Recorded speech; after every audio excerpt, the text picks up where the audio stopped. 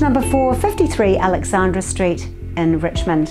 Hi, my name's Bronwyn Williams from Ray White.